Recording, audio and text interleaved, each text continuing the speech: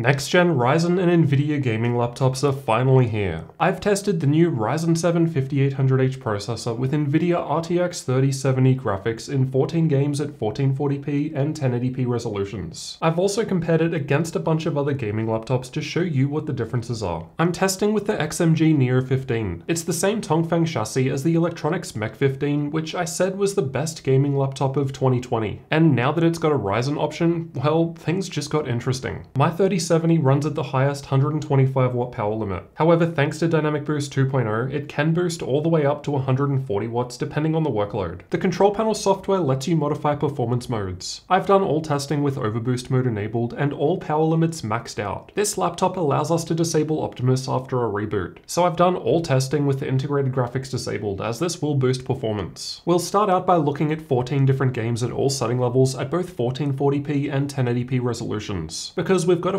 1440p screen here. Then afterwards, I'll show you how this new hardware compares against other gaming laptops. Red Dead Redemption 2 was tested with the game's benchmark. I've got the 1080p results shown by the purple bars, and 1440p results shown by the red bars below. I've also tested every available setting preset, which are listed on the left with lower levels at the bottom and higher levels towards the top, so you can get an idea of performance at different setting levels. Even with max settings, 1440p was still above 60 FPS, which is an impressive result for this game on a laptop. Cyberpunk 2077 was tested in Little China with the Street Kid life path. I only recently added this game, so don't yet have a good idea of what's normal for it, but 1080p was still able to surpass 60 FPS even with ultra settings, though the ray tracing ultra preset was a bit below this. 1440p still played quite well as long as you're not maxing everything out. Assassin's Creed Valhalla was tested with the game's built-in benchmark. 1440p with the highest ultra setting preset was only just under 60 FPS, so I'd say it's probably quite playable given I played with a frame rate below this on my PC recently. I've tested control with and without ray tracing. Let's start with the ray tracing off results. I found the game perfectly playable with above 60 FPS averages even with the high setting preset at 1440p, though 1080p was able to hit near this even for the 1% low. Here's how things change with ray tracing enabled at high settings. The frame rates dip quite a bit comparatively. 1080p high settings was just capable of 60 FPS though. By turning on DLSS, we're able to boost frame rates significantly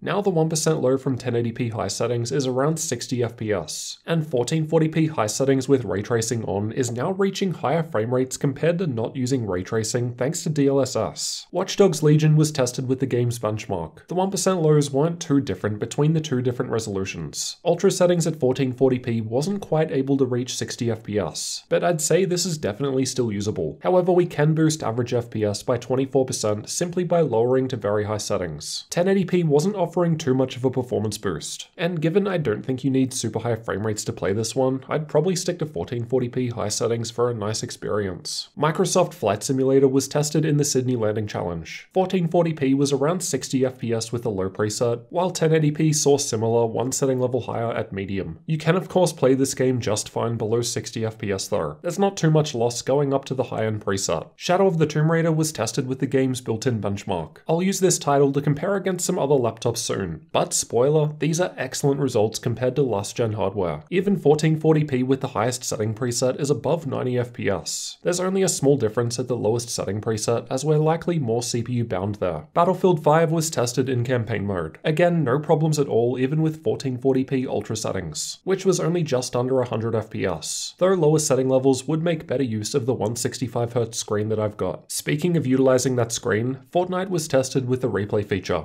Like it or not, this is still a popular game, and it's close to the screen's refresh rate even at 1440p high settings, while even the 1% low rises above the screen's refresh rate one level lower at medium settings. I've also tested CSGO as another esports title, because when I looked at AMD's new Zen 3 processors on the desktop side, I found some pretty big gains in this title, and that seems to be the case here too. Generally, we'd see 250 to 400 FPS last gen at 1080p. Rainbow Six Siege was tested with the game's benchmark using Vulkan. Again, no problems at all running this one. Even at 1440p ultra settings, the 1% lows are above the screen's refresh rate. Meanwhile, the 1080p results at ultra are the best I've ever recorded from a laptop. Metro Exodus was tested with the game's benchmark. Like some of the other games tested, there was basically no difference at either resolution with minimum settings. 1440p was still able to reach 60 FPS at ultra though, which is a great result for this test. Death Stranding doesn't have too much difference between the various setting presets, and even max settings at 1440p was running above 100 FPS, so no problem problems at all playing this one. Last game before we look at some comparisons. It just wouldn't be a Jarrod's Tech video without The Witcher 3. Again, above 100 FPS with ultra settings at 1440p and playable without any issues. Now let's find out how well this hardware compares against other gaming laptops. Use these results as a rough guide only, as they were tested at different times with different drivers. I've tested Battlefield 5 in campaign mode at ultra settings, and the Neo 15 is highlighted in red. This is an excellent result, only being beaten by the 180 watt RTX 2080 in the Triton 900 or 200 watt 2080 in the MSI GT76 desktop replacement. The 1% low is also quite good too compared to most others, though in this game I have found that to vary more so than average frame rate, despite the fact that I'm taking the averages of 4 test runs here. This new hardware combination moves up one position relative to the same laptop selection in Shadow of the Tomb Raider. Again, it's actually beating the 180 watt RTX 2080 and i9 9900K desktop processor in the Alienware 51M just below it. It was only being beaten by one frame by the far thicker MSI GT76 Titan, again with desktop 9900K and 200 watt 2080, making this a very impressive result. Far Cry 5 was also tested with the game's benchmark tool. Although the Neo 15 result is one of the best I've got, it's beaten slightly by a lower wattage 2080 Max-Q in the Triton 500 just above it. Otherwise, to get much higher, generally we need much higher wattage GPUs like those 2080s in the GT76 or 51M.